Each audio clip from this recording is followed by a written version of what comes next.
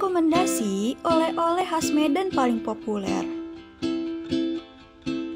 Wajib hukumnya mencicipi kuliner khas ketika kamu mengunjungi suatu kota. Sebab kuliner merupakan salah satu simbol keunikan daerah yang pasti bakal berbeda antara satu tempat dengan tempat lainnya.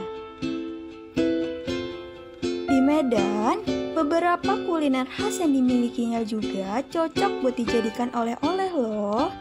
Kamu wajib borong banyak untuk stok di rumah dan dibagikan ke sanak saudara atau kawan-kawan dekat. Apakah kalian sudah tahu oleh-oleh khas Medan paling populer itu apa? Kalau belum, yuk kita mengetahuinya berikut ini.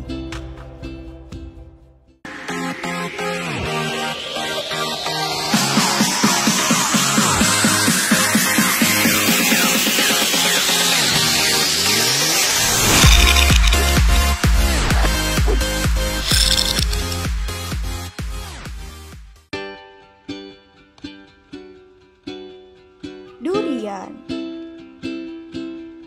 Memiliki bau yang menyengat dan berkulit tajam, buah durian memang sedikit ribet untuk dibawa keluar kota, terlebih kalau kamu menggunakan pesawat. Tapi, toko-toko penjual durian asli Medan bakal membantu mengupaskan durian dari kulitnya dan dibungkus rapat sehingga mudah dibawa naik pesawat. Sirup markisa. Medan memang bukan penghasil buah markisa, tapi buah yang banyak mengandung vitamin A dan C ini banyak dijual di Medan dalam bentuk sirup botolan.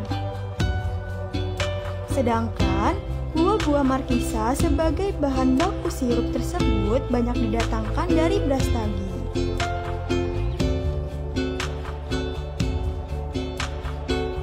Ambon.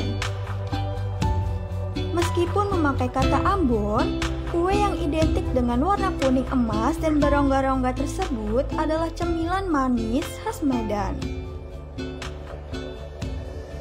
Konon, disebut Bika Ambon karena mulanya kue ini pertama kali dijual di sekitar Jalan Ambon. Selain rasa original, Bika Ambon telah dimodifikasi menjadi beragam varian rasa, seperti coklat, keju, dan durian.